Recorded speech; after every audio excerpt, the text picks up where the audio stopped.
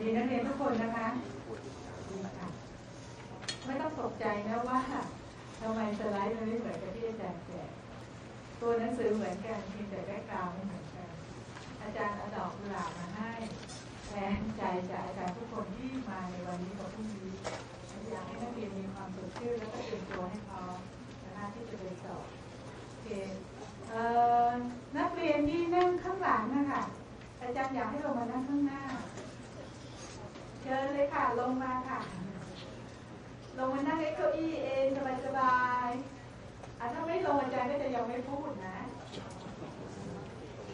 ไม่ได้ลงมาพราะอาจารย์เคยเห็นปีที่แล้วเนี่ยไปนอนเอกเนกข้างหลังลงมาลงมาเร็วเดี๋ยวเอ่ออะถ้าไม่ลงอาจารย์จะยังไม่เริ่มพูดนะเพราะตอนนี้อาจารย์เสร็จแล้วไปแล้วสามนาทีโอเคนะคะ เป็นไงบ้างสอบ สอบเมื่อวานหรือเมื่อวันศุกร์วันศุกร์เมื่อวานก็สอบป่ะสอบเป็นไงบ้างอ่านไหมอ่านนะอาจารย์จะเริ่มพูดแล้วนะคะเมื่อกี้อาจารย์เฉลียนก็เตรียมให้แล้วว่า เราจะต้องเตรียมตัวยังไง อาจารย์เฉลียนย้ำมากเรื่องการแต่งกายนะคะ เพราะว่ามันทำให้เราคล่องตัวแล้วก็ อย่างที่อาจารย์พูดตั้งแต่เมื่อวันพฤหัสว่าข้อ CPR มีแน่นอนนะคะเราเริ่มเนื้อหา อันนี้ก็อาจารย์เฉลียนพูดไปแล้วจำตัวเลขไว้ก็แล้วกัน 4 4 4 3 5นะ4 4 4 3 5 ก็จะมีข้อสอบอยู่ตรงนี้แหละอันนี้อย่าลืมนะคะ communication skill เนี่ย ข้อสอบจะต้องเป็นแบบเราต้องพูดแบบผู้ป่วยจำลองสองข้อมีเสมอเล แล้วหนึ่งข้อเนี่ยอุ๊ยหนึ่งข้อนี้คือการเขียนนะคะเขียนอะไรเดี๋ยวจะบอกให้นะอะอันนี้ก็คือสิ่งที่อาจารย์พูดตั้งแต่เมื่อวันพฤหัสว่าเวลาไปสอบเนี่ยเสียงกลิ่นจะเป็นยังไง ข้อสอบมันจะมีประมาณสักเอ่อ20 ข้อยังไงก็ 20 ข้อ แต่ station ที่ส่วนใหญ่จะประมาณ33 station หรือ34 station นะขึ้นกับจำนวนนักเรียน ส่วนใหญ่ก็จะให้นักเรียนเข้าแต่ละวงที่แค่33คน เพราะว่าจะไม่อยากให้เวลาเกิน3ชั่วโมงต่อการสอบหนึ่งครั้งนะคะ MPL ของแต่ละข้อเนี่ยจะประมาณ 60ถึง80 เมื่อกี้อาจารย์ชเนบอก70 80 ใช่ไหม แต่เนี่ยของเขาเนี่ยจะประมาณเท่านี้ แล้วก็กติกายังไม่เปลี่ยนนะคะ ใน 20 ข้อเนี่ยเราต้องผ่าน NPL 12 ข้อ 60%เองทำได้ไหม กันหัวไม่ได้หรอกแหมพอบอลได้แค่ 60คะแนนจาก100คะแนนนี่นะ62 ข้อ สมัยก่อนเขาจะเอาว่าแต่ละหมวดต้องผ่านกี่ข้อด้วยมันจะโหไปเนาะว่าที่ซีเช็คกิ้งต้องผ่านสองข้อ แล้วรวมแล้วต้องผ่านสิบสองข้อถึงจะได้ผู้ที่บัตรได้ที่ให้ได้ใบประกอบวิชาชีพแต่ตอนนี้เขาไม่เอาเพราะว่าหมวดไหนก็ได้ ถ้าหมดไหนตัวเองที่ว่าเจ๋งทำหมดนั้นให้ดีๆด้วยกันละกันเนาะเอออันนี้เดี๋ยวอาจารย์จะพูดถึงว่าเวลาเขาจะสร้างแบบสอนเอ่อแบบประเมินนะคะมันจะมีคอนเทนต์หรือมี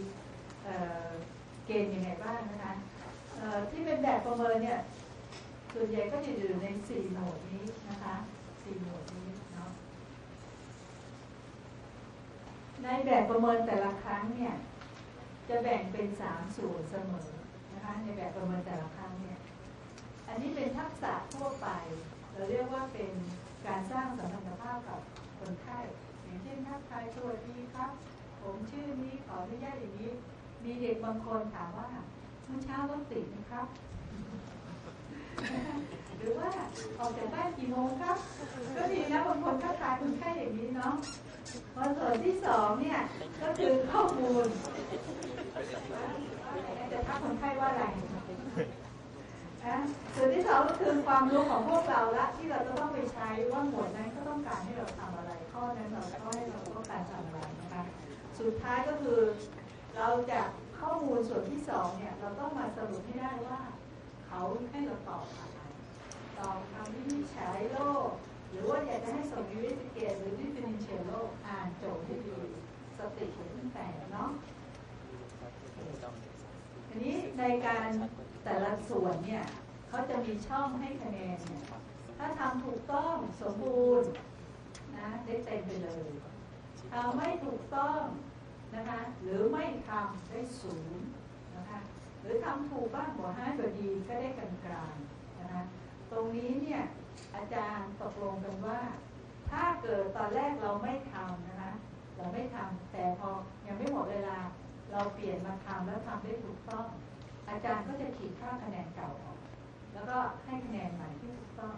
แต่ต้องมีลายเซ็นของอาจารย์ว่าเป็นอาจารย์เป็นคนแก้ไม่ใช่ใครเป็นคนแก้เนาะอันนี้เป็นกติกาเพราะฉะนั้นเราไม่ต้องกลัวว่าเราเราจะไม่ได้คะแนนขาให้ทำในสิ่งที่เราคิดว่ามันถูกภายในเวลาที่คนสมก็แล้วกันนะนะอย่างเมื่อกี้บอกแล้วว่าในหมวดข้อสอบ interpretation เนี่ย เลตนี้ ออกทุกครั้งยกเว้นข้อ stool exam กับ urine exam เนี่ยมันจะสลับกันออก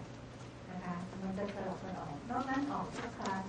เอ็กซเรย์นี่ไม่เชสก็แอบโดเมนไม่ก็โบนนะคะหกบุลเลตนี้ ใครคิดว่าตัวเองออกอันนี้บ้างยกมือ ขึ้นเร็วเลยเนาะเดี๋ยวอาจารย์ก็คงจะมาช่วยให้เราแข็งขึ้น และอันนี้ล่ะ อันนี้ใครคิดว่าตัวเองอ่อกนะโอ้แสดงว่าพวกเราตรวจไซส์เก่ง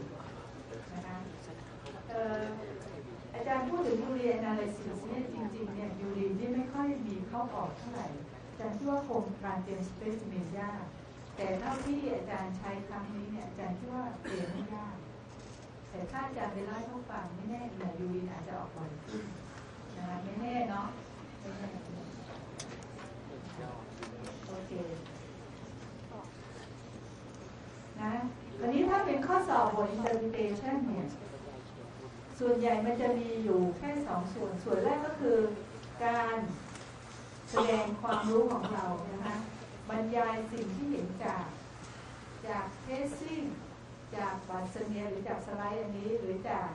กล้องจุลภาพหรือจากอะไรที่เขาตั้งเอาไว้นะคะ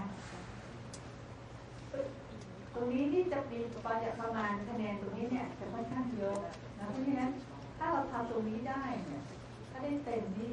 หรือตอบตรงนี้ผิดก็ไม่ตกนะถ้าทำตรงนี้เต็มหรือตอบตรงนี้ผิดก็ไม่น่าจะตก ราะที่อาจารย์บอก NTL ประมาณ60ถึง80ใช่ไหมเนาะทีนี้เวลาเขาจะให้เราตอบเนี่ยว่าสิ่งที่เราเห็นแล้วเราดูโจทย์ด้วยนะ โจทย์โจทย์โจทย์ตรงนี้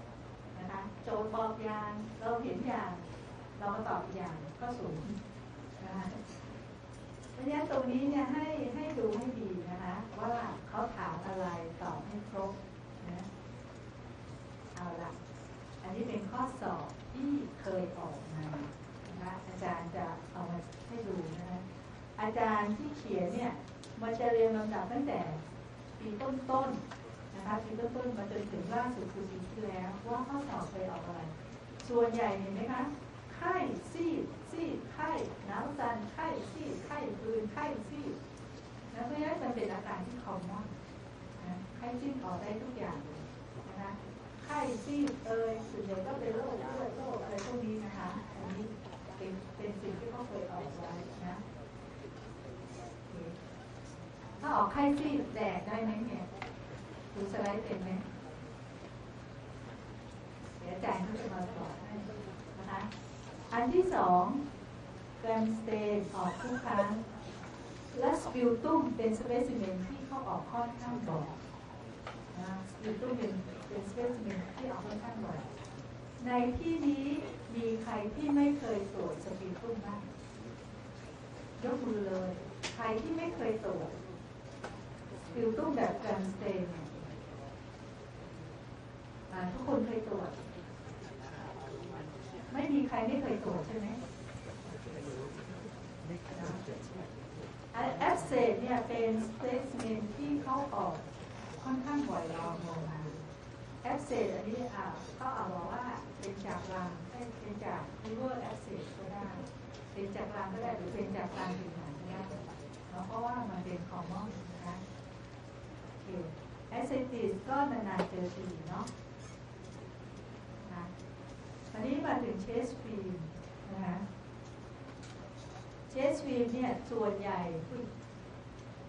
นะส่วนใหญ่ถ้าเขาให้โจทย์เนี่ยเขาจะบอกคนไข้มาก่อนว่าคนไข้ไปได้รับอุบัติเหตุหรือว่ามีโรคประจำตัวอะไร แล้วอยู่ๆก็หอบเหนื่อยหายใจลำบากแล้วก็มีไวท์เข้าสายให้ ให้เราดูฟิล์มถ้าดูฟิล์มให้เราดูจริง ๆ นะอย่าไปดูโจทย์ แล้วก็คิดว่าเป็นโรคอะไร โดยที่ฟิล์มอีกแบบหนึ่ง คิดไปก่อน แล้วไปตอบอีกแบบหนึ่งนะคะ ต้องดูโจทย์ด้วย โจทย์ส่วนใหญ่จะมีคลิปอะไรให้เราดูสังเกตนะคะเอ่อ diagnosis พวกนี้พวกเราคิดว่าอ่านได้ไหม อันนี้ทุกคนอ่านได้ไหมดูนี่แบบ Charlie Lam Lesion ส่วนใหญ่บ้านเราทีวีก็เจอบ่อยนะอันที่สอง abdomen free เนี่ยส่วนใหญ่ก็เป็นพวกเนี้ยพวก acute abdomen เพราะว่าเดี๋ยวนี้เนี่ยข้างนอกเนี่ย chest film เอ้ยพวกฟรีเนี่ยยังมีประโยชน์ เราอย่าข้ามขั้นไปส่ง CT film ยังมีประโยชน์เพราะฉะนั้นเขาก็เลยมาประเมินเราว่าเราอ่านเป็นไหมนะคะอันนี้ถ้าเกี่ยวกับเรื่อง bone เนี่ยก็ส่วนใหญ่ไม่หนีพ้นเรื่อง fracture แต่อย่าลืมโจทย์อาจจะหลอกตรงนี้ด้วยอย่าลืมนะ ว่า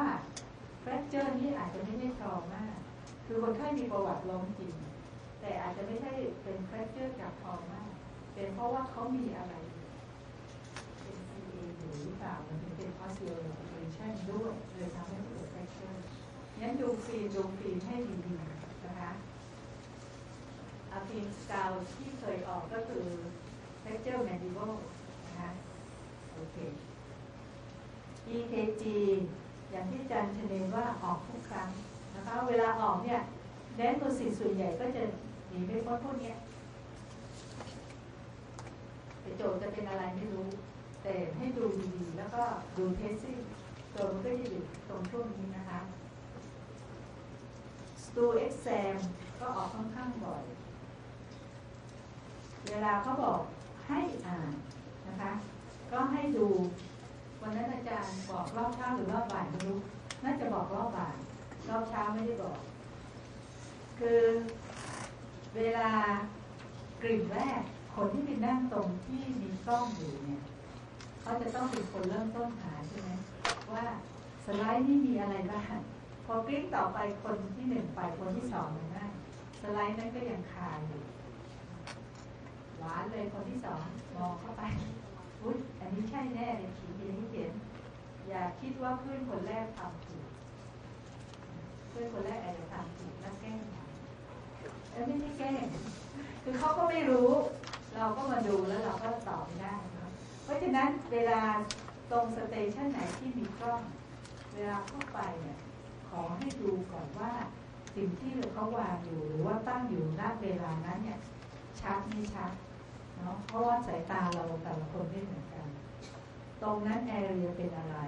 ใช้หัว high power หรือ oil หรือว่าเป็น low power เราดูก่อนแล้วเราก็ค่อยหมุนหาไปนะคะ หาไปให้ตรงกับสิ่งที่เขาถามทีนี้ถ้าเป็นสตูเนี่ยเท่าที่อาจารย์ไปรวบรวมข้อสอบมาเนี่ยถ้าเป็นไข่ที่ยากเขาไม่เขียนตัวเอ้ยเขาไม่ใส่ตัวเดียวบางทีใส่สามตัว แต่เพื่อนคนที่เพิ่งรู้ไปเนี่ยเขาตั้งให้เราเห็นตัวเดียวเราก็ตอบตัวเดียวก็ได้คะแนนน้อยหน่อยนะคะต้องไปเขียนให้ถูกต้องตามชื่อทางวิทยาศาสตร์เขาไม่ถามเราพยาธิตัวนี้ชื่ออะไรแล้วเราตอบพยาธิปากคอนะฟุกเวอร์บางทีเขาอาจจะไม่ให้ เพราะถ้าเขาบอกตอบชื่อวิทยาศาสตร์ก็ต้องชื่อวิทยาศาสตร์นะคะถ้าชื่อวิทยาศาสตร์นั้นสะกดผิดนิดหน่อย แต่อ่านและสื่อเขาอาจจะให้คะแนน แต่ถ้าชื่อวิทยาศาสตร์นั้นเขียนผิด อ่านก็ไม่สื่อว่าเอ๊ะมันออกเสียงเป็น angiosarcoma หรืออะไรเนี่ยก็ศูนย์นะคะเพราะฉะนั้นเขียนไม่ถูกยูรีนก็จะนานออกทีเนาะข้อบกพร่องก็คือเนี่ยข้อบกพร่องก็คือว่าเราไม่ค่อย อยอาจารย์ไม่อยากว่าไม่ค่อยมีความรู้ มีความรู้ แต่อาจจะดึงความรู้นั้นมาตอบไม่ถูกนะคะแต่ผลจากการรักษาไม่สอดคล้องกัน คนไข้มีซี่ แล้วก็ไม่เจริญอาหาร ไปตอบว่าเป็นพยาธิอะไรอะพยาธิเส้นด้านไม่ถูกเลยเนาะไม่สอดคล้องกันนะคะ แล้วบรรยายสิ่งผิดปกติกับอันนี้ก็ไม่สอดคล้องกันนะคะ อันนี้เป็นข้อมูลโดยภาพรวมของของเอ่อหมวด interpretation นะคะ ไม่ทราบว่ามีนักเรียนอยากมาถามอะไรไหม อาจารย์เอกลักษณ์มาเนี่ยไม่รู้มาแล้ว มาแล้วใช่ไหม แต่ตอนนี้รู้สึกได้เวลาเบรกค่ะของอาจารย์หมดแล้วเหรอฮะหมดแล้ว อ๋อเพราะฉะนั้นเดี๋ยวพี่ฝากอีกนิดหน่อย เวลาเราตอบข้อสอบที่เป็นคำตอบที่เป็นกระดาษให้ตอบเนี่ยนะครับหลายคนตอบเสร็จปุ๊บแล้วก็ใจร้อนเอาหยอดกล่องก่อนอะหยอดกระเป๋าหยอดหยอดอะไรนะถุงหรืออะไรเงี้ยครับ แล้วก็ต้องระวังนิดหน่อยว่าเกิดบังเอิญเกิดความรู้มันผุดบังเกิดหลังจากนั้น แล้วเราจะไปล้วงคืนมาเนี่ยไม่ได้ เพราะฉะนั้นเวลาเตือนสติพวกเราก็คืออย่างนี้ครับ ให้ตั้งสติตอบจนหมดเลย แล้วก็ถ้ามีกลิ่นเตือนเมื่อไหร่ ค่อยนึกว่านั่นแหะคือจังหวะของการหยอดกล่องนี่ก่อนนะครับ คือเขียนเสร็จอย่าเพิ่งอย่าเพิ่งใส่เพราะยังไงเขาก็ให้เวลาเราจนครบ5นาทีอยู่ดีนะครับ ให้ครบ5นาทีอยู่ดีเเขียนไปจนกระทั่งโอเคปุ๊บแล้วก็ทบทวนไปจนกระทั่งพอได้ยินเสียงกริ่งเตือน เป็นการเตือนเราว่าเดี๋ยวให้หยอดกล่อง แล้วค่อยออกจากห้องโอเคครับนะอย่าไปหยอดก่อนเพราะหยอดก่อนปุ๊บเกิดนึกได้เนี่ยล้วงไม่ได้ ถ้าล้วงปุ๊บเขาถือทุจริตเลย แล้วตกเลยนะครับ คือตกทั้งหมด ถ้าล้วงนี้คือถือว่าทุจริตใหญ่ เรียกว่าตกหมดแล้วคือไปสอบรอบหน้าเลยนะครับรอบนั้นก็คือทำเล่นๆไปเรื่อยๆจนกระทั่งครบอะหรือบางทีเขาอาจจะเอาเอาเราออกจากสถานที่สอบเลย ถ้าจับทานได้จริงนะยกเว้นถ้าไม่ได้เขาจะไปให้กรรมการเซ็นชื่อทับไว้ก่อนว่าทุจริตหรือสงสัยทุจริตแล้วให้สอบไปเรื่อยๆ แล้วเดี๋ยวกรรมการเขาไปตัดสินทีหลังนะครับนะเพราะฉะนั้นอย่าทำ ก็เตือนตัวเองไว้เลยว่าทุกครั้งเนี่ยถ้าเป็นข้อที่เขาเป็นข้อเขียนเนี่ยเขียนไปเรื่อยๆครับ เขียนไปจนกระทั่งเราเอ่อได้สิจนกระทั่งเสร็จเสร็จเราก็นั่งทบทวนทบทวนไปจนกระทั่งได้ยินเสียงกริ่งเตือน ซึ่งเขาเตือนนะครับแล้วกริ่งที่เราใช้ตอนสอบเนี่ยเป็นกริ่งเดียวกันกับที่สรวใช้ตึงตึ้งนี่นะครับนะแล้วก่อนที่จะเสียงยาวนั่นน่ะคือเราฮะหมดหมดสติไปเลยเหรอเวลาจะได้ยินโอเคนะครับ ก็ฝากไว้ว่า ฝากฝากเป็นกระบวนการนะครับว่าให้ให้นึกไว้อย่างนี้เลย พอได้ยินเสียงกริ่งเตือนเป็นการเตือนเราให้เอาใส่ในกล่องนั้นนะครับนะก็เช็คให้เรียบร้อยว่าติดสติ๊กเกอร์เรียบร้อยแล้วก็หยอดในกล่องนะอย่างนี้จะเรียกว่าเราใช้เวลาเราคุ้มค่าที่สุดละเต็มที่ของมันนะคือหลังจากนั้นถ้าทำไม่ได้คือไม่ได้อยู่แล้วนะก็ไม่ต้องอะไรอาวรณ์มันนะก็ออกจากห้องไปโอเคเนาะอ่านะครับอาจารย์ผมฝากอะเดี๋ยวอาจารย์ขอเอ่อ ต่อจากที่อาจารย์คะเนว่าไอ้เสียงกริ่งไอ้กริ่งจิ้งอะไรที่เราเพิ่งคุ้นเคยสอบนั่นนะนะสถาบันเราจะใช้เสียงแบบนี้ ใครที่เป็นมาสอบที่เนี่ยเชียงใหม่จะใช้เสียงแบบนี้ศรีราชจะใช้เสียงแบบนี้ แต่ที่อื่นอาจารย์ไม่แน่ใจเพราะว่าจะใช้เสียงแบบนี้เพราะไอ้โปรแกรมนี้เป็นโปรแกรมของศรีราชนะคะอาจจะเป็นเสียงคล้ายๆอย่างนี้ แต่ว่า4นาทีขึ้นกับ5นาทีทุกคนจะต้องทำเหมือนกันมี ข้อเตือน เพราะว่าที่ผ่านมาเมื่อวันพฤหัสเนี่ยอาจารย์บอกว่ากระดาษที่เราใช้เขียนที่อาจารย์ไว้ตามห้องใช่ไหมนะคะไว้ตามห้องเพราะฉะนั้นหนึ่งคนใช้หนึ่งแผ่นที่ผ่านมาเมื่อวันพฤหัสอาจารย์ยังไม่ทราบว่าใครเป็นคนทำแบบนั้น มีคนหนึ่งเขียน แล้วก็คิดว่าไม่อยากใช้กระดาษแผ่นนี้ แต่เอาไปซุกไว้ไปซุกไว้หลังอะไรเนี่ยจารย์จำไม่ได้ละเนอะอาจารย์ก็ ก็เอามาดูเอ๊ะก็มาคาบลายมือน่าจะเป็นใครเพราะอาจารย์ต้องทำนี้ก่อน เพราะว่าถ้าเราเผลอไปทำของจริงอย่างที่อาจารย์เรียนว่าตกนะแบ็คลิสต์ไว้ด้วยนะคะ เพราะฉะนั้นอยากทำหนึ่งแผ่นก็ใช้หนึ่งคน ถ้าตัวเองต้องการใช้อาจารย์ได้กรรมการอยู่แถวนั้นเยอะแยะบอกเลย อาจารย์ตั้งหนูขอใช้เพิ่มอีกแผ่นหนึ่งเขาก็จะมาเซ็นคำสั่งให้ว่าแผ่นนี้ให้เอาไปคิดคะแนนแผ่นนี้ไม่ต้องคิด นะคะนะเราต้องทำให้ตรงกันนะคะอันนี้อาจารย์อยากให้ว่ามีคำถามไหมมีถ้าไม่มี เดี๋ยวอาจารย์เอกลักษณ์จะมาบอกว่าสิ่งที่ในหมวด interpretation ควรจะมีหลักอะไรมากเวลาสอบน้องสมอที่เพิ่งเข้าเพิ่งเข้ามาอาจารย์ขอเชิญมานั่งข้างหน้านะคะ เดี๋ยวอาจารย์ อาจารย์ชเนบออาจารย์บอหรือยังอาจารย์มีจะถามต่ออ่าอาจารย์จะถามว่า สิ่งที่อาจารย์ออกข้อสอบหมวดนี้เมื่อวันพฤหัสเนี่ย ใครตอบอย่างไรบ้างข้อที่เป็นฟิล์มจำได้ใช่ไหมเป็นฟิล์มอาจารย์จะสุ่มนะใครที่หมายเลขร้อยห้าสิบห้าอยู่ในนี้ไหมหมายเลขสอบร้อยห้าสิบห้าอ่าตอบว่าอะไรจ๊ะ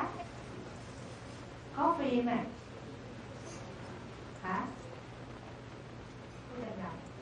ๆตอเป็น electric stove ข้างซ้ายถูกไหมอะ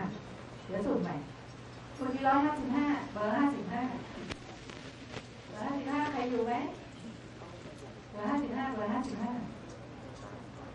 จับได้แล้วเบอร์ห้าสิบห้าไม่ มาอ้าวมีเหรออะไหนยกมืออะตอบอะไรอ๋อตอบเหมือนกัน ใครตอบแบบนี้ก็ได้คะแนนอะ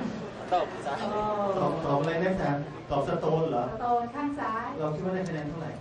อาจารย์บอกได้คะแนนไม่ได้แปลว่าได้ทั้งหมดนะรู้ไหม่มีอะไรซ่อนอีกไหนใครคิดว่าข้อนี้มีอะไรซ่อนอีก